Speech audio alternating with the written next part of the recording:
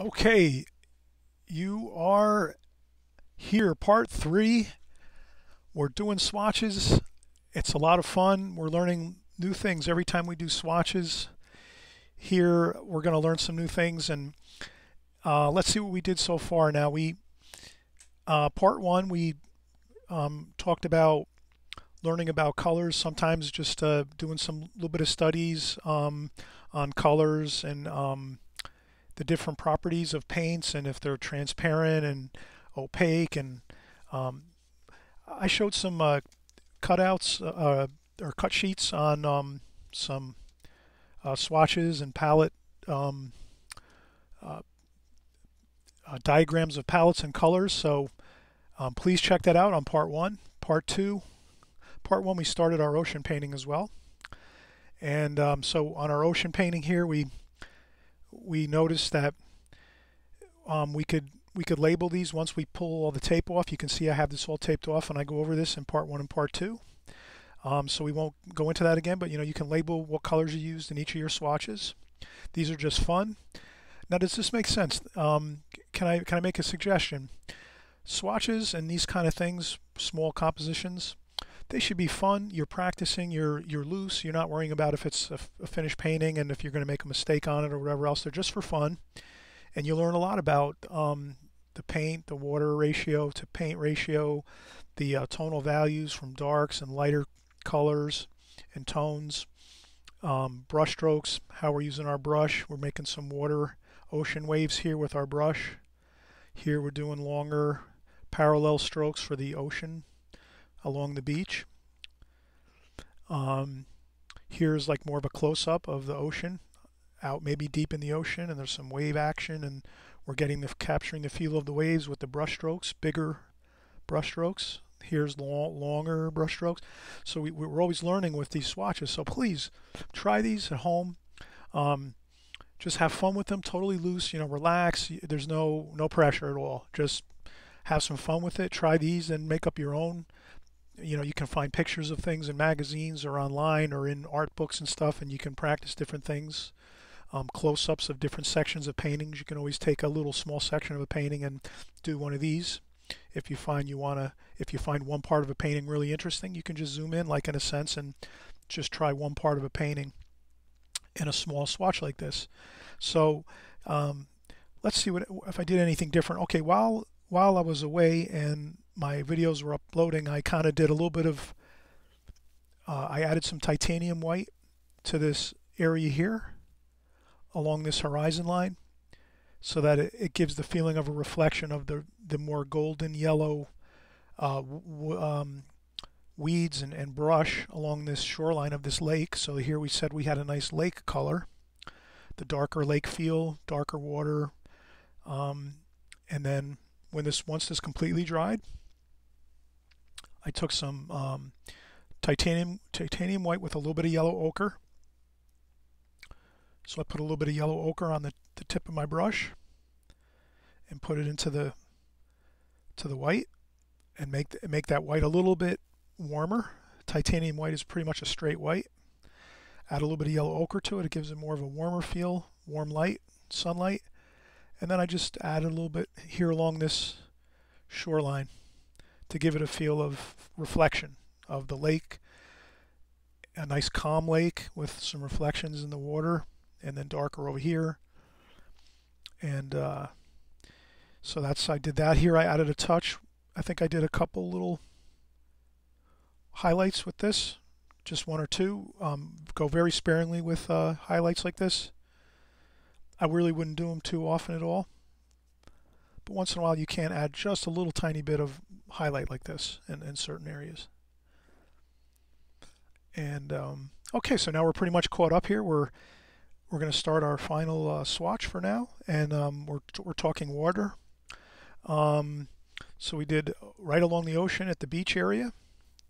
We did a, a nice lake scene here, the darker feel of like a lake or pond with the darker water, murky, muddy, um, some uh, trees in the background, and then a nice uh, shoreline with some golden color uh, shrubs and, and, grasses, and that reflects into the pond. And we made our horizon line. I also added a little bit of uh, burnt umber here along this um, her, this um, line, this water line here, um, to break up the white. So it makes it a little more interesting if I go with a little bit of white, a little bit of burnt umber mix here, a little bit of the mix from the palette, white, some more white, and then, you know, if we break up that line a little bit, it looks much better than just going with one straight line across of white. That, that wouldn't look so good. So we break up these lines here. Um, same thing over here. You see how we break up these lines here? There's no one continuous line anywhere. It's kind of all broken up. That's how you would see it if we were in real life looking at the ocean. There's waves and things happening and waves crashing and um, you'd have those you'd have those broken broken lines here and there all the way through and some splashes to make it look interesting like water. And then here again we have our ocean the, the flow of the waves. And so now we have those three and let's do one more. Let's uh, so we have a pond lake type feel in the ocean. Let's see let's do let's take a look here. Maybe we'll do something a little more um, this might be more of a painting. Uh, depends on your style of painting. I know everyone has everyone has different styles. Um, here at my uh, YouTube channel, you, you, notice I have more of a um, more of like a classic, you know, real realism type painting style. Like I don't get too you know abstract with things but, but if you if you like to paint abstractly that's that's great too so here I'll just maybe come up with maybe just a little idea of um, maybe something just a little more abstract. So here we'll go with a horizon line here. And then maybe just uh, maybe some mountain feel mountain feel here. And then maybe we'll go with some uh, so now with the palette here, I think it's time we can we can clean up a little bit on our palette. So let's spritz the palette a little bit. I'll make some room over here on the left side. And we'll, re we'll reuse some of the paint on the right over here. So I cleaned up a spot on my palette here. And okay, I think I'm going to go with some some burnt umber, burnt sienna, raw umber, um, some French ultramarine blue, and some viridian green.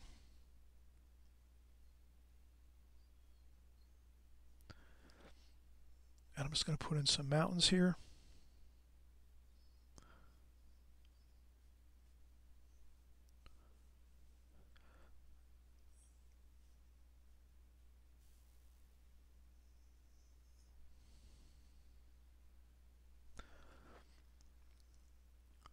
Okay, this might have a little more of an abstract feel to it. I'm not going to get super detailed, but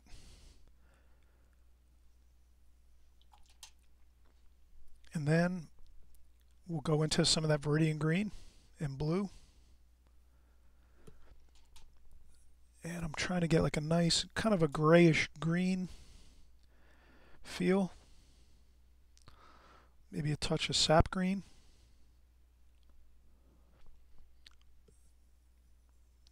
A little bit of a, a muddier green there.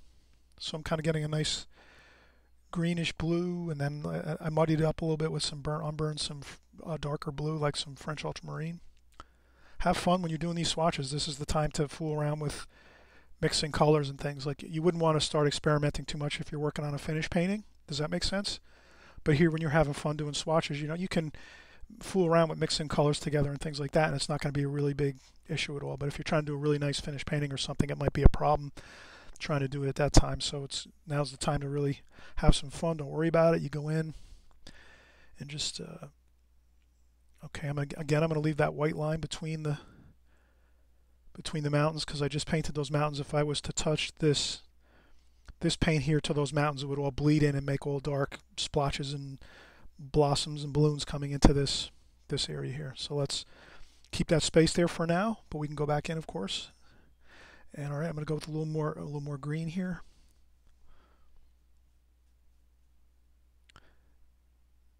I'm going to leave a little bit of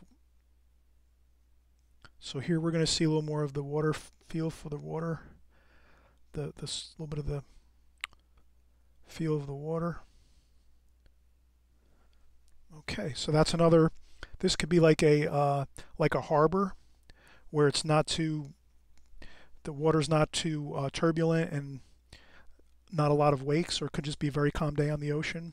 This could be an ocean, I guess, or or maybe a um, harbor or a bay bay area. And then we can add a little darker color in there. This has to be done fast to get that in there. You have to do it right away. You can't wait too long. So I'm. This is a very fine, smooth paper too. This is a, a, a fine grain paper, like a smooth uh, satin. This is a satin paper, so this is really tough to work on. When you use rough paper, it's a little more forgiving. You can work on it a little more and touch things up, but with very fine paper, the uh, satin uh, style paper, you almost have to get things done with like one one uh, one wash and not uh, fool around with it too much and get it get it roughed up too much. It gets a little bit. So here again, I'm doing a little darker. And this is where you we just we experiment a little more. We go in with a little darker color, a little darker blue, and then we can get a little more. Again, moving the brush like the like the water. This is where you got to be kind of fun, have get loose, have fun, uh, fun time here. Just swaying the brush around a little bit. So here we would we would see the water like this closer up closer to us in the foreground, but we would not see that in the distance. The distance is more, we're not going to see too much detail as you go further into the distance of this painting. So more the, the front, you know, the, the closer you are, the more detail you see as the painting drifts back into these distant mountains, you're not going to see as much detail there. Okay, so that's looking pretty good. Um, maybe we can do some clouds. Let's let's use a little bit of that darker brown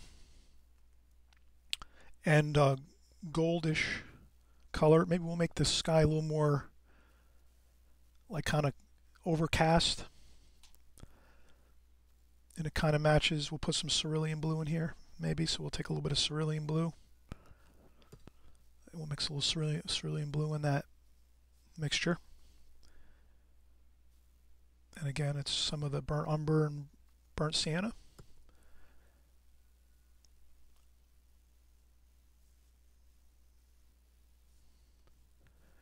And we can get creative with the clouds. Clouds a lot of times are parallel. So we can kind of just put parallel lines across. Then we can uh, add some maybe some French ultramarine blue in the up here. Up there a little bit maybe.